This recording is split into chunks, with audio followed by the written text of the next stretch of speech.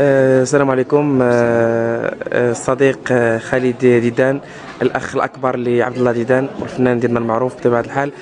كما شفتي أنت اليوم جيتي وحضرتي معنا ال- المسرحية في إمتى نبداو بالصح اللي كتأديها فرقة أزول هنا بمركب بحري لمدينة الرباط. بغيناك تعطينا ارتسامات ديالك حول هذه المسرحية اللي كانت باللغة الأمازيغية. بغض النظر عن آه، آه، اميتي في اللغة الأمازيغية واللي كنتمنى أنني آه، نحيد هذا الجهل ديالي بهذه اللغة ونمشي نقراها إن شاء الله باش نقدر نفهم آه، 100% بحال هذه الاعمال إلا أنه كتبقى هناك واحد اللغة روحيه متفق عليها آه، عالميا. هذه اللغة آه، الروحيه فيها الأستاذ حفيظ بدري في مسرحية إمتى نبداو آه، اللي يعجبني فيها ولو أنني ما نقدرش نعرف بالضبط الحوارات اللي كانوا ما بين الممثلين آه، بثلاثة بهم غير انه l'intonation ديال الحوار كتعطيك التعبير على الأحاسيس آه، ديالهم.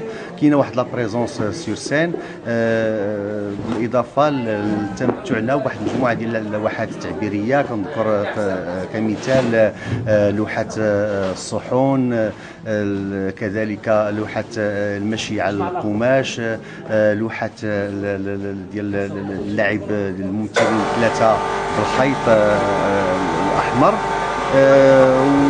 وكنظن أن المسرحية كتكلم على معاناة ديال واحد جوج ديال العاملات. فهمت شي حاجة؟ آه، فيها البحر فيها الحوت فهمت كذلك شي شي حاجة فيها فيها- إسبانيا شي هجرة؟ فهمت شي معاناة ديال ديال شي آه، عاملة مع شي شخص آخر؟ فهمت باللي كاينة عاملة في معمل عندها إجازة في, في, في الاقتصاد؟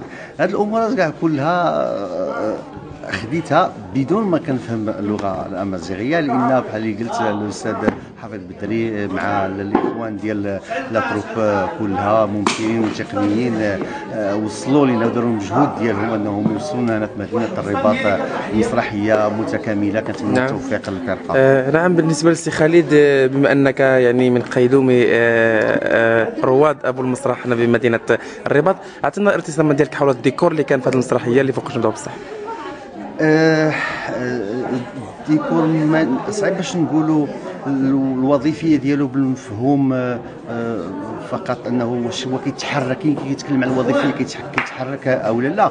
غير إنما هو وظيفي لأنه أعطانا الانطباع ديال ديال المعمل.